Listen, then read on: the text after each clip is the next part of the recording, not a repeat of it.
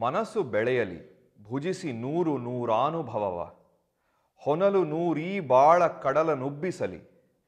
ತನು ಬಂಧ ಕಳಚಿ ಜೀವವ ಖಂಡ ಚೇತನದ ಕುಣಿತದಲ್ಲಿ ಕೂಡಿರಲಿ Mankutimma let the mind grow learning from hundreds of experiences Let a hundred streams of experience swell the ocean of life. Let bodily bindings break and let life join the dance of eternal consciousness. This is a verse from the Manku Timmana Kagga of D.V. Gundappa. It is a fascinating work of the 20th century which deals with so many various topics pertaining to life and the vagaries of life and the means of transcending these vagaries without making too much of a fuss, without being too stubborn about it. Now, why are we interested in works of poetry? This is something which was written in 1943 and edited over maybe a decade. But we are still interested in these works of poetry over centuries because they are relevant to us. A work of science or a work of Shastra is relevant only in a certain period of time because over the years these things get accumulated and summarized by the next generation. What took an entire century of work, what took an entire millennia of efforts, today could be read and understood by somebody in, in school by reading just a book. That is because science is constantly building and the older science is getting outdated and updated with newer findings. But art and poetry is always relevant to us because it deals with human emotions. And human emotions are the same over so many years. It doesn't change over a period of time. The basic human emotions, desires, fears have remained the same over several millennia. We read Shakespeare, Kalidasa, Vyasa, Valmiki even today.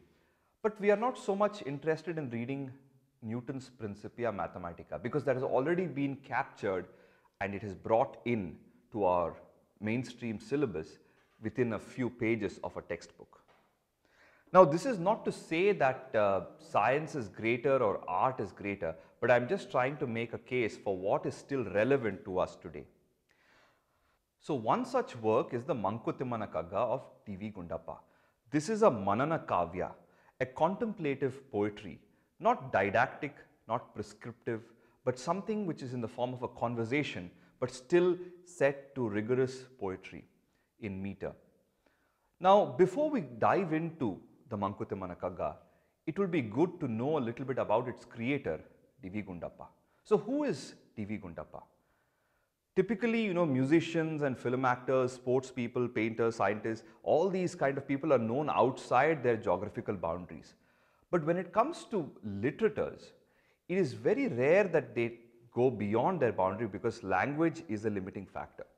Now, everybody knows, you know, Rajnikant or Sachin Tendulkar, uh, you, people who are painters and musicians, Ravi Varma or Balamurali Krishna. But how many people have heard about Dr. S.L. Bhairappa outside of Karnataka? How many people outside of Maharashtra know about Pula Deshpande? Not too many. So, it is important for us to bring the great luminaries from our regional uh, languages into English for the larger benefit of the world. Um, so, D.V. Gundappa, very uh, popular as DVG in Karnataka, uh, is one of the giants of modern Kannada literature.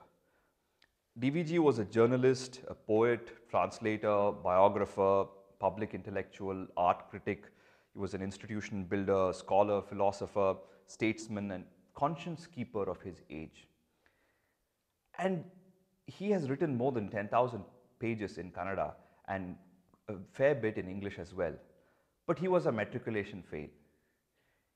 He not only failed in mathematics and science, he also failed in Kannada. But in spite of this, he was able to write so much and contribute so much to Kannada literature it is so amazing. Today, if somebody fails, we are make a big deal out of it. But we have examples like DVG who was able to contribute so much to the entire corpus of Kannada, modern Kannada literature, where educational background did not matter so much. He was perhaps the first person to write a biography in modern Kannada. In 1911, when he wrote a, a biography of Diwan Rangacharlu, who was the Diwan of Mysore state sometime in the 19th century, as a 24 year old boy, he wrote a biography for the first time. Then he was among the early writers to write creative non-fiction, not just in Kannada but in any Indian language. And uh, his uh, Shale in eight volumes. So Nyapakachitra Shale literally translate to art gallery of memories. So this in eight volumes, he talks about so many people, starting from the divans of Mysore to great Vedic scholars, right down to somebody who's a mason, a plumber, a, you know, a Tonga driver, a tailor, an old couple in a village. So the span of uh, characters he uh, recollects is amazing. And he started writing these somewhere, um, somewhere in the mid 50s, I think. So already he was more than 60 years old and he is recollecting events from the 1910s, 1920s and writing with such clarity and vividity that you would think that it just happened a few days ago. So much so that many of the greats who were his contemporaries uh, felt that only DVG had eyes and ears open, whereas everybody else were asleep because he could observe every small detail and capture it in his uh, um, eight volume magnum opus. And he wrote with great clarity and wisdom on variety of topics, whether it's poetics, philosophy, journalism, public affairs. Uh, his range was extraordinary. In fact, uh, there was recently uh, a, a, series on Facebook I saw called Humans of New York, where somebody just put a picture of uh, a random person, a common man on the street, and wrote a paragraph, a story about uh, that person. So when I saw this Humans of New York, I was reminded of Nyapaka Chitrashale, where he has captured, just using words, a beautiful memory of the old uh, Mysore state. It is not just a, a, a biography, because he is not giving facts and uh, figures. It's more capturing the values of those people he talks about and therefore it also becomes a social commentary. It also becomes a kind of history, uh, cultural history of the old Mysore state. And uh, when he wrote the Kagga, there was a very interesting story that somebody come to him and said, uh, you know, I've read your Kagga, it's a fantastic work, it uh, completely aligns with modern findings in quantum physics. So he said, I am just a matriculation fail, I have no idea about this, I have written from my experience. So the beauty is that he has written poetry and uh, people look at it in so many different ways, but ultimately he has just shared his experiences in a poetic form. Now, when the first edition came out in 1943, when DVG uh, brought it out, he did not put his name. He just said it is the story of an old schoolmaster and he has written it. And later, when the second edition came out, that is when his friends were uh, pestering him to put his name because it could be misused and so many other reasons are there. But, uh, you know, uh, he, he was so detached with this, this work. And uh, later on when the second, after the second edition came out, some of his friends came and uh, they protested. They said, why are you causing us trouble? So he's like, what happened? He said, when the first edition came out, we had memorized all the 945 verses. Now you're making changes. We have to, you know, forget the old thing and to learn it again. So to the extent that people, when a book comes out, imagine they already learnt it from memory. That was the kind of impact uh, it had in that period. So then after the second edition, he decided not to make any more changes to the text and leave it as it is. And uh, it was possible for DVG to have this kind of impact because he had the heart of a poet but the head of a journalist. Of course, not like the modern journalists or poets because that's a totally different uh, uh, situation today. But he had the, uh, the meticulousness of a journalist, but he had the sensitivity and uh, emotion of a poet. And uh, so because of this, he also was not behind any awards. When the famous uh, Jnanapita Prashasti was uh, instituted, uh, Mankutimmana Kagga was one of the first books that was nominated and he did not win the award. Uh, one of his friends who was an editor at uh, Hindu, he wrote a letter saying, uh, I mean, I can't believe that your work has not won uh, Gyanapit Prashasti. So then DVG wrote back a very beautiful letter saying that, you know, uh, we are doing it before our joy and uh, ideals before us are people like Tyagaraja and Potana, Vyasa, Valmiki. Whose favors did they ask for? Whom did they go behind? They did it for their joy. So we should not be too hassled by that. That was the kind of temperament that uh, uh, DVG had. And although he contributed to Kannada literature and to the society of uh, the old Mysore state in so many ways, he always saw himself as a journalist. He always saw himself as an enthusiastic proponent of these things, not as a creator, not as a writer, not as an intellectual. To the extent that he was um, very good friends with the uh, Diwan of Mysore, uh, Sir M. Vishweshwaraya. So this is in um, 1915. Uh, Vishweshwaraya was the Diwan of Mysore and he was a already celebrated figure. He was in his 50s. He befriended this young journalist, DVG, who was half his age. He was probably 24, 25. Um, he was half his age, but uh, Vishweshwaraya would spend a lot of time with DVG, go for a walk, have uh, some snacks and coffee. So once uh, Vishweshwaraya told uh, DVG, I will come and visit you. So DVG said, please don't come because I don't even have a chair in my house. If you come to my house, then I have to make arrangements. If you see my living conditions, you will feel bad and you will start thinking about trying to help me and all that, which I don't want. So I will come to your place.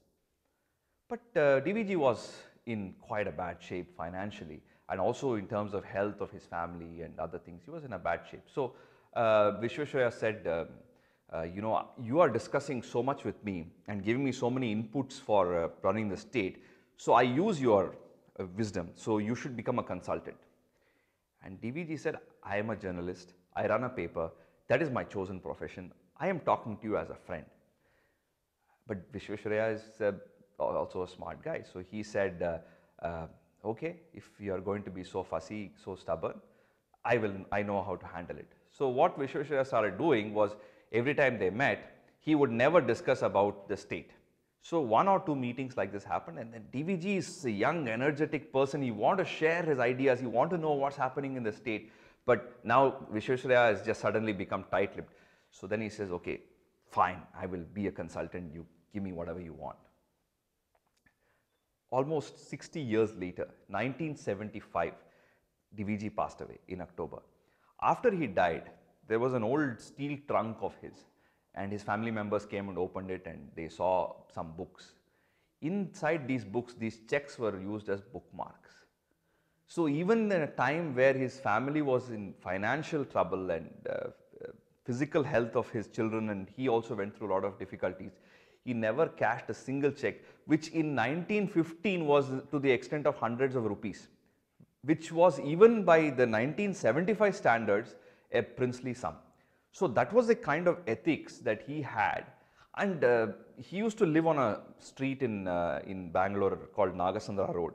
So then after he became famous, then everybody around him, they started saying that, you know, we should rename this as DVG Road. So there were a lot of people in the, in the community who really lauded his work and had great admiration and they said we should create DVG road. So he wrote a letter to the municipal corporation saying, how can you rename a road which is so well known as Nagasandra road after an old man like me? So he protested. Now nowadays it's the other way around. Everybody is trying so hard to get their name or their grandfather's name on the name on, on a road. But here on the other hand, he said, why should you do this?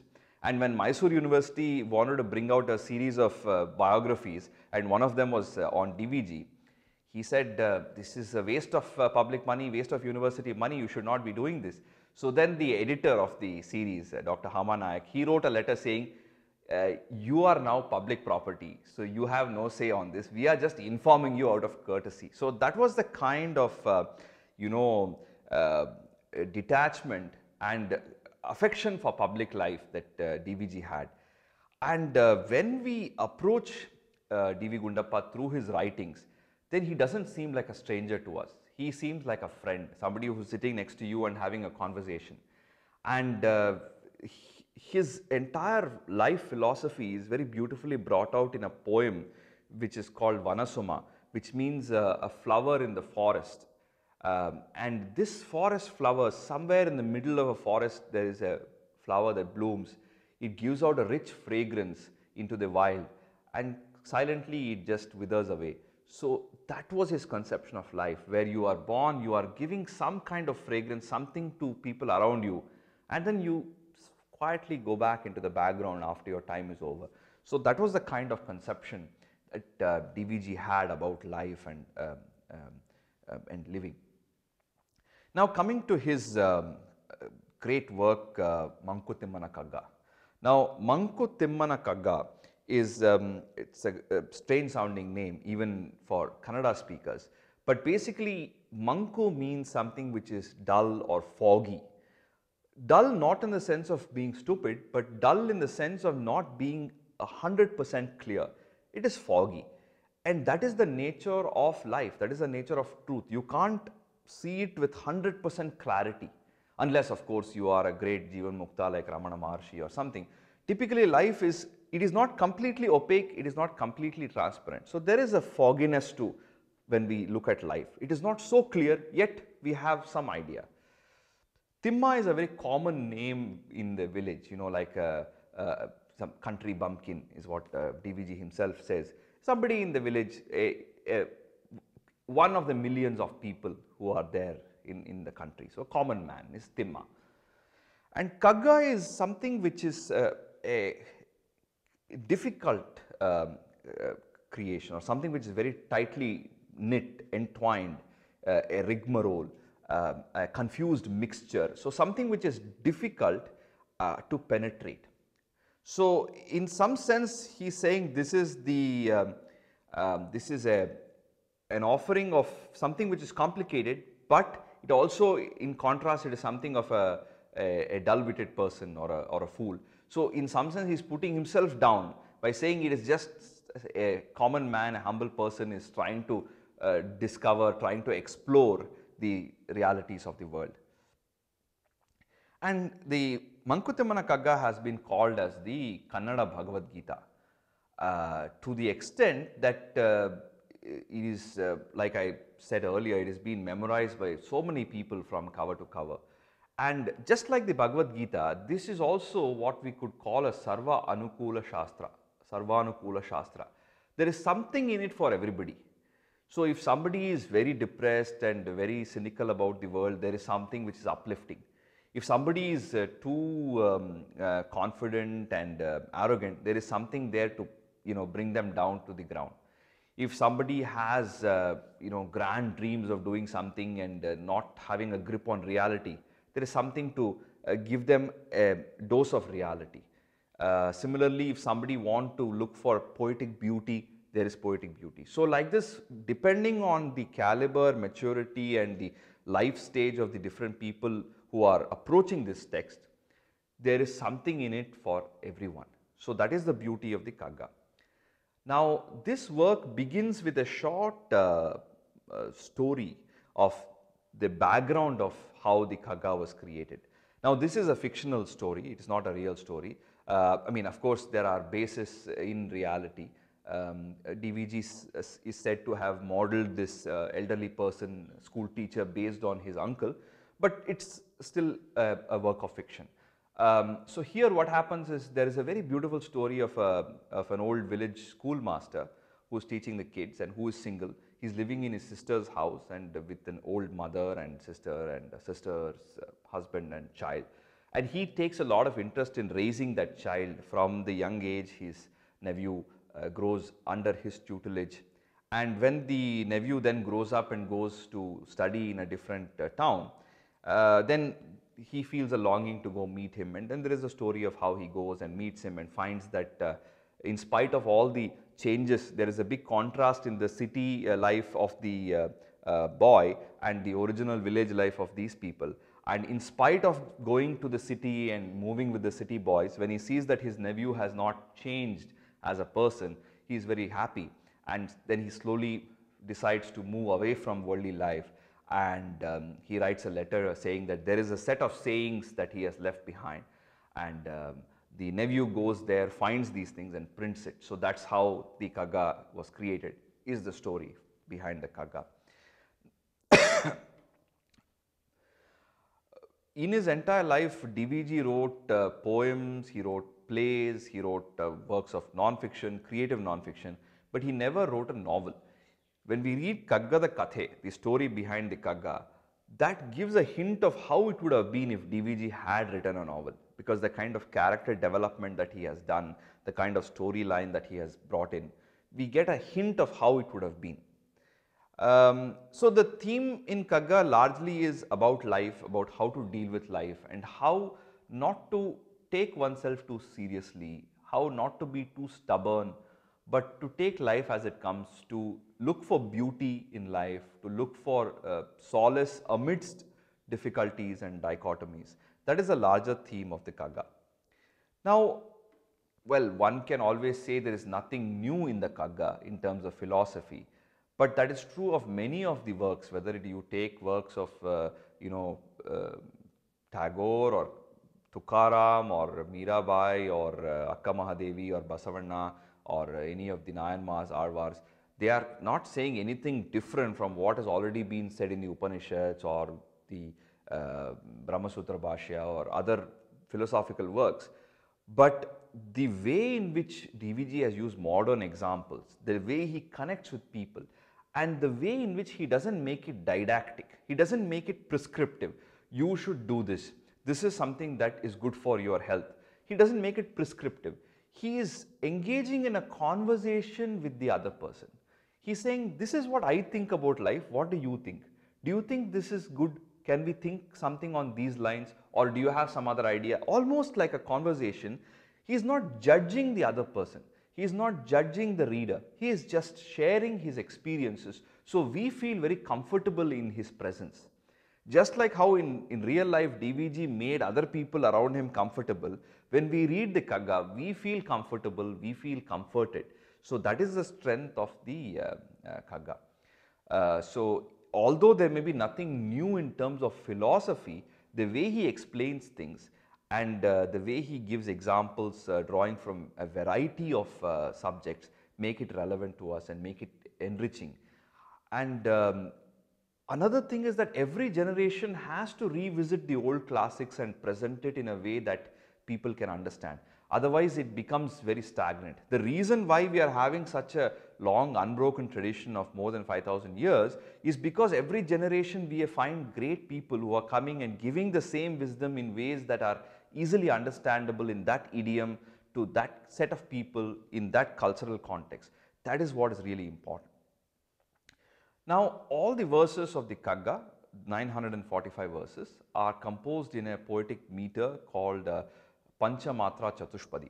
So, uh, there is a, I worked on an English translation and uh, Shatavadhani Dr. R. Ganesh has written a very masterful introductory uh, uh, essay and in that he explains in great detail about the literary quality of the uh, Kagga. So here what happens is every poem, every verse has four lines and in the end of every poem there is a uh, what is called a signature word Mankutimma. So for example there is a verse ಸೃಷ್ಟಿ ಕಥೆ ಕಟ್ಟು ಕಥೆ ವಿಲಯ ಕಥೆ ಬರಿಯ ಕಥೆ ಹುಟ್ಟು ಸಾವುಗಳೊಂದೇ ಪುರಳಿನೆರಡು ದಶೆ ನಿತ್ಯ ಪರಿವರ್ತನೆಯೇ ಚೈತನ್ಯದ ನರ್ತನೆಯೇ ಸತ್ಯ ಜಗದಲ್ಲಿ ಕಾಣೋ Mankutimma so there are four lines and every verse ends with the word Mankutimma also you see that there is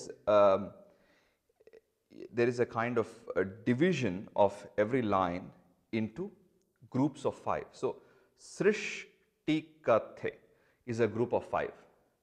Kattukathe, again five. Vilayakathe, five. Bariyakathe, five. So, like this, there are four sets of five matras in the first and the third lines. In the second line, there are two matras that are less and in the fourth line, there are four matras that are less. So, in the second line, it will be huttu savugalonde puruli neradu dashe. So, there are two in the end which are missing. Now, the third line again, nitya parivartaneye chaitanya nartaneye. There are five into four. The last line, sat Satyajaga Dalikano Mankutimma. So there are four less in the end. It gives a uh, the second line, the missing two counts give a short pause. In the fourth line, the missing four counts give a long pause. So that is the kind of structure that this has. And also another thing is the entire Kagga, we find what is uh, called as the Adiprasa, where the second syllable of every line is typically repeated. Um, so with this kind of a metrical constraint, he has composed these verses and they are all composed in what is called Halegannada or classical Kannada, which is not what is used today. The, it's not the modern Kannada, it's a classical form of the language. And there is a lot of wordplay, there is a lot of punch in the fourth line, there's a lot of uh, metaphor, allegory, and many alankaras are used, uh, which of course one who studies it will over many years figure out so much which is hidden in the Kagga. Another fascinating aspect about this work is when DVG wrote this. So he did not sit one day morning and write down all the 945 obviously. So he has started working on this for many years. Over the years he has polished it, polished it and finally brought it out in uh, 1943. So when he was a young boy growing up in Mulbagal and then later when he moved to Bangalore and he used to travel a lot in Karnataka and visit many jatres and fairs and he observed that the most popular people in the jatres are those singers and uh, the performers who would be able to compose some poem on the spot or who are able to recite poetry very well. And then what are the kind of books that the villagers would buy and read? So these would typically be works of Vemana in Telugu or works of Sarvagna in Kannada or Tattvapada of Brahmananda. These kind of works is what they would typically like to read. So this is something like you, your Kabir ke Dohe or Mirabai's bhajans. Simple language that are dealing with very beautiful uh, emotions and philosophy and uh, uh, spirituality. So you, even in the Varkari tradition in Maharashtra, we find this everywhere. I mean, all over India, through the ages we find. So this is the kind of um, uh, uh, works that common people read. So when D.V. Gundappa composed the Kagga, he had in mind this kind of a writing style, which will appeal to the common man, which will appeal to people, and he wrote it in a poetic form, so it's easy to remember. And one can even set this to a melody and sing it. And uh, uh, people have, you know, done so much over the years that what was expected to be like a, what was uh, composed for a common man in the 1940s, now we need to read it through the help of some commentaries and uh, detailed works written on it. But you can imagine how the level of the common man was when DVG composed it. So that was the kind of approach he had when he wrote to Kagga. And uh, the contents of the Kagga are encyclopedic in nature, but they are in the form of simple conversations. It is more an approach to life rather than a, a philosophical exposition or a textbook of uh, Indian philosophy. That's not the idea. It's more of a like a conversation with a loved one where you're discussing something and having a casual chat, but the contents are very deep and uh, are something worthy of uh, contemplation. And uh, it is a lifetime companion. Kagga is a lifetime companion. The, every time you approach it, whenever you read even a small passage, a refrain, you get so much from it. And the ultimate message that uh, DVG is trying to give with the Kagga and what he also gave by the kind of life he led was that lead a life that is spreading cheer, be kind to yourself, be kind to others, and don't be very stubborn, don't take yourself too seriously. At the same time, uh, don't be lazy, work hard, try to help uh, build institutions, bring people together, uh, but don't make a big deal out of, out of it. So this is the kind of message that uh, DVG brings in the Kagga and his own life. I'll take a few verses from the Kagga to give a sample uh, of uh, the work. I've already shared a few verses in the original, so I will just go to translations and one can always look at the original work for the uh, uh, verses in Kannada. In one of the verses he says, to find equality in disparity, friendship in the midst of oddities, or a cordial settlement to strife, to find joy in melancholic existence, that appreciation is indeed yoga. This kind of a bridge between what could be seeming opposites, this we see a lot in the Ekagga, we see it in DVG's life. So for example, uh, you know, DVG was a very good friend uh, with um, uh, some of the uh, heads of the Justice Party uh, in Tamil Nadu, but he was totally opposed to their way of politics.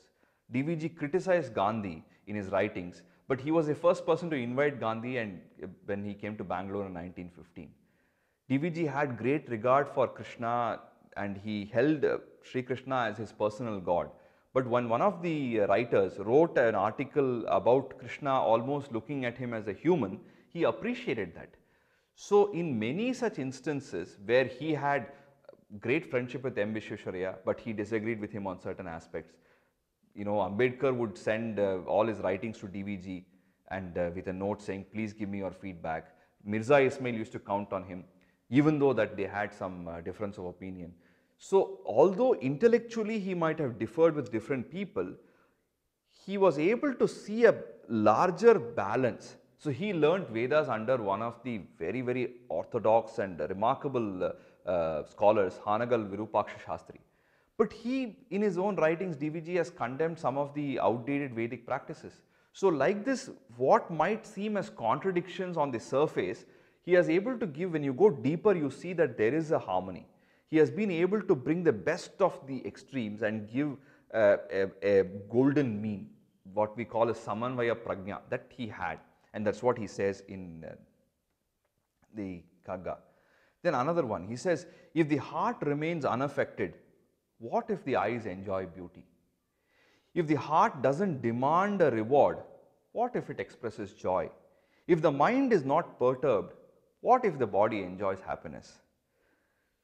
So, uh, enjoyment is not wrong in itself is what he is trying to say. Now, uh, when you have gone beyond uh, desire, then it does not matter what physically you engage in because you are not going to do it with a sense of indulgence. Uh, you know, there is a very nice uh, episode again from DVG's life. One of his prime uh, disciples and a very remarkable writer, D.R. Venkataramanan, in fact, he has written uh, one of the best works on DVG's life in Kannada called Virakta Rashtraka. So, D.R. Venkataramanan was a young uh, student of DVG, but he was from a very traditional family, you know, would speak very formally. So, sometime DVG would say uh, uh, when in the evening when Venkataramanan is going back home, he says, uh, Venkatamana, today you have worked very hard, so I am going to tell you an adult joke. So, he, he used to, uh, you know, crack all kinds of jokes and have fun, always laughing. And one of his students, Dr. S.R. Ramaswamy, who, uh, who was uh, uh, given a lot of support to all of us uh, in our endeavors. So once Dr. Ganesh and SRR were discussing and so Ganesh ji asked SRR, Sir, how is it possible that DVG was able to say such adult jokes and make below the belt remarks? and so Dr. SRR immediately said, because his mind was very pure. Whatever he said, it didn't matter because he was uh, not having any uh, baggages. He was able to freely speak his mind. So that is the kind of enjoyment that DVG uh, speaks about and that is exactly the kind of enjoyment that is prescribed in our tradition.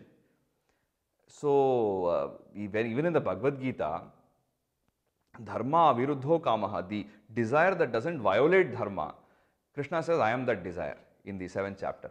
So, when we see, you know, in contrast with some of the Western uh, uh, religions, where almost joy is purged as a sin, here the whole concept of life itself is, we believe in, at least in the Vedic tradition and the Hindu civilization, we celebrate life.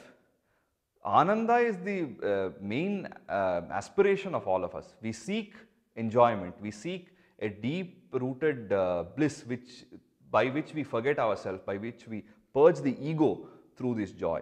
So that is what uh, DVG is talking about. In another verse he says, fight for justice like a lawyer, be a witness on the day of judgment. In life's journey, spend your time like a bhikshu. Within the mind, be like a free bird. So, physically, he is suggesting uh, discipline and uh, uh, rigor and less consumption, but inside the mind, complete freedom. So, the beautiful contrast. And in another one, he says, drum beats don't accompany a sprout arising from the ground. Trumpets don't blow when fruits ripen. The sun and moon shine their lights in silence. You would do better to stitch your lips. When so many great things are happening in nature silently, without uh, uh, any announcements, without any bragging, then why should we insignificant humans make a big deal out of things? Another beautiful verse where he talks about uh, um, we should how we should be careful when we are assuming that other person needs our help. So he says, if an exhausted man is fast asleep on the ground and you shake him awake, asking him to look for a bed, is that of any help? Don't eat up others' peace, assuming that you're offering a great service. It's not easy to do good. This is so pertinent, especially in the days today with all our NGOs and everything. They assume that other people need their help. They go and uh, try to help them out. We will save you. Many times people don't need that help. We have to be very careful. Even if our intention might be good, we have to be careful to recognize whether the other person needs it. Then another beautiful sentiment in the Kagga we find, he says, when you eat your food, ask yourself if the water used for cooking is the sweat of your toil or the tears of another. Consume only as much as you give the world. The balance is a debt that you cannot digest. So much we owe the world. We have to be so careful in, re in recognizing what is it that we are consuming. In another one, he says, a cow grazing in some meadow, drinking water elsewhere, gives some kind of milk who drinks that milk to gain what energy to undertake which act of goodness to the world? Think of the lines of debts involved. So, the interconnectedness of everything, we are dependent on so many people. Yes, many times I have given this example, just for me to be sitting here, it takes the effort of the entire world to come to be born. We our parents should have met, their parents should have met, how many circumstances have come together. Somebody has built the road, somebody has built an aeroplane, we had to come all the way, somebody has built this beautiful place. So all these things to happen, there have been a lot of good people who are not polluted air because of which we are getting such fresh air today. So like this, by their actions, the whole world has supported our existence, just our existence. When we recognize this interconnectedness, then naturally we develop a gratitude. Naturally we develop a sense of uh, respect for the world. And recently, uh, Dr. S.R. Ramaswamy, uh, one of the prime disciples of uh, DVG, was uh, telling us that often DVG would say, if we assume that uh, the Supreme is giving us what we deserve, you know, ex officio, then we would have nothing because out of his uh, greatness of heart and his magnanimity, he is giving us ex gratia all the boons. That's why we are having what we have. We always have far more than what we really deserve. This is what DVG used to tell, I believe. So that is the kind of uh, uh, strong uh, value system that DVG had and perpetrated uh, through his writings and through his uh, many disciples.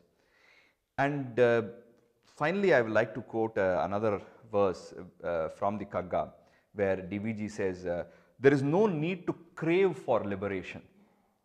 It is the product of many years of sustained practice. Walk the path of Samanya Dharma without deviation. Liberation will follow naturally. So what is uh, Samanya Dharma? Typically, we have two categories. One is Samanya Dharma and Vishesha Dharma. Vishesha Dharma is specific set of rules applicable to certain people. But Samanya Dharma is something that applies to everybody uh, at all points of time. You know, basic human values like honesty, uh, courage, kindness, um, not stealing other things, uh, other people's things, um, uh, being true to oneself. All these basic values, um, you know, giving something in charity and uh, uh, working hard. Basic values are called Samanya Dharma. So he says, walk the path of Samanya Dharma without deviation and liberation will follow naturally. Because if you are craving for liberation, if you are very, very en like enthused about it, but um, you are not allowing for time to play its role, then that also leads to a different kind of bondage. You cannot force it, it has to come naturally. In fact, in one of the other verses, he talks about how a person while reading a book slowly falls asleep and the book falls down from his hand almost as naturally as that, we should get, attain liberation, not by a, a kind of force. In India, we have an unbroken tradition, bhakti tradition for so many thousands of years.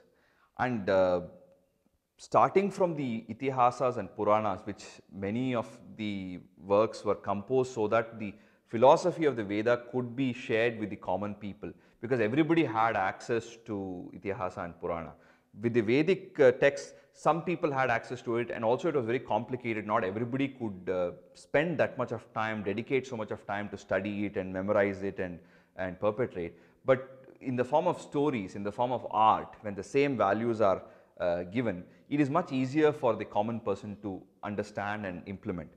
And it is because of this that even today, even today, if you go to a remote village in India, if you go to any part of India, a common man has understanding of some of the profound philosophical ideas like dharma, like karma yoga, like samsara, like moksha. These are very fundamental concepts, very deep concepts, but even a common person has a working knowledge of this.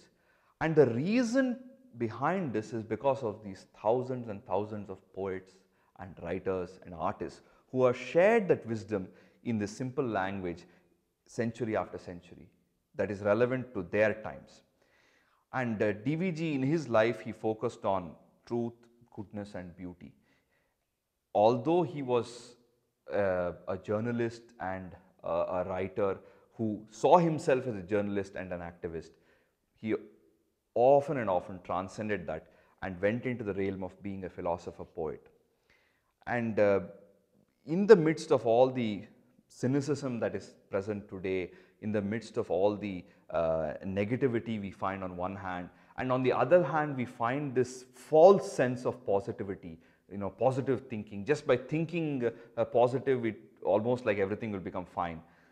Neither of these approaches will be helpful unless we have a good grip on reality. At the same time, retain the faith in the inherent goodness of humanity. And this is what we see in the Kagga and in the life of D.V. Gundappa.